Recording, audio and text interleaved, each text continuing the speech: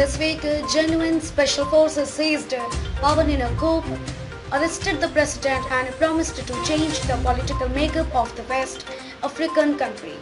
In Afghanistan, the Taliban said that with the help of China, the group would fight for an economic comeback. And Libyan authorities have released Saadi Gaddafi, son of the former leader Muammar Gaddafi, who was deposed and killed